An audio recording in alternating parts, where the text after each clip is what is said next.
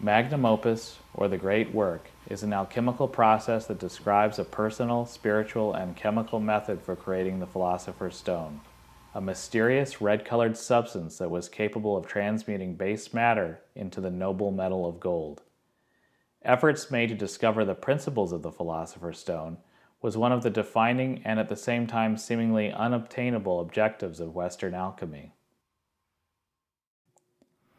The great work of the metal lover is an artwork that sits at the intersection of art, science, and alchemy, re examining the problem of transmutation through the use of modern microbiological practice, and thus solving the ancient riddle.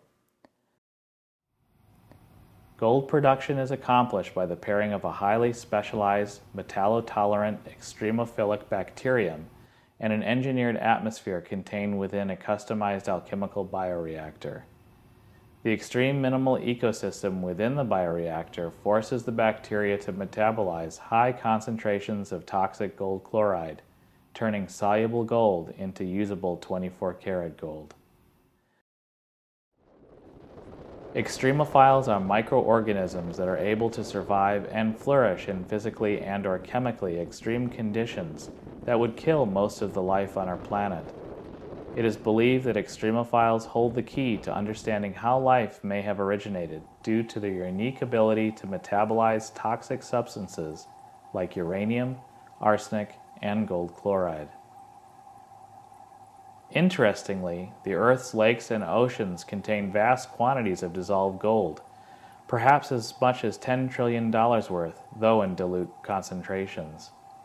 Because of its form, it is virtually unusable there is now compelling evidence suggesting that many of Earth's gold deposits are formed not through heat, pressure, and geochemical processes alone, but are indeed formed by microorganisms. The great work of the metal lover is an artwork that exists in two parts. The first part is an installation consisting of custom laboratory equipment, including a glass alchemical bioreactor a gas manifold, and a gas tank filled with carbon dioxide and hydrogen. The process is all documented in real time by a USB microscope and a real time video feed. The second part of the work consists of a series of images made with a scanning electron microscope. Digital prints are made using modern technology.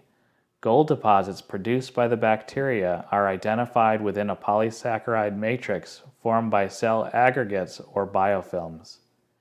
Then, using ancient gold illumination techniques, 24 karat gold leaf is selectively applied to regions of the print where a bacterial gold deposit has been identified.